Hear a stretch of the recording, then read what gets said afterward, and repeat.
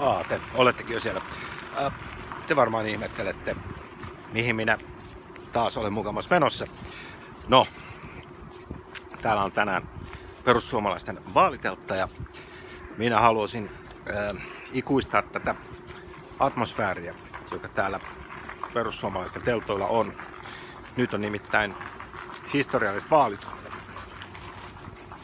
Siitä syystä, että kun vaaliilta tulee, niin äh, monet puoluejohtajat tulevat olemaan monttu auki ja naama pitkällä.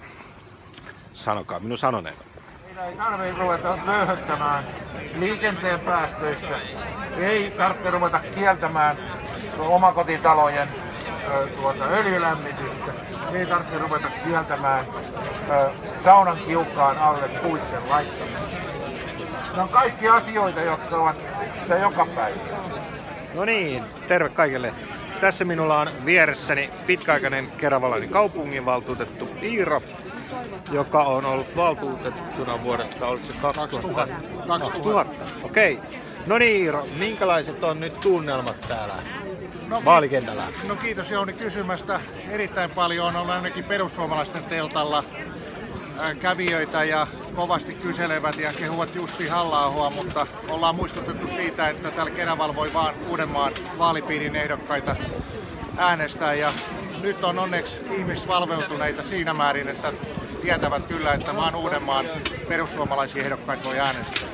Paljon tulee, paljon tulee ehdokkaita tai eduskuntaan kansanedustajia Uudellamaalla. No nyt vaikuttaisi siltä, että seitsemän perussuomalaista kansanedustajaa saataisiin Uudenmaan vaalipiiristä, mikä on erittäin hyvä tulos, mutta aina voidaan vielä parantaa.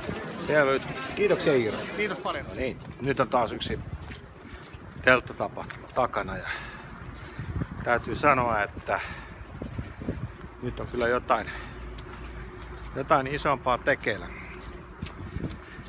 Nimittäin perussuomalaiset on saamassa niin ison vaalivoiton näissä vaaleissa, että tätä ei oikeastaan kukaan enää voi sössiä. Paitsi ainoastaan ehkä me itse. Mutta näihin tunnelmiin.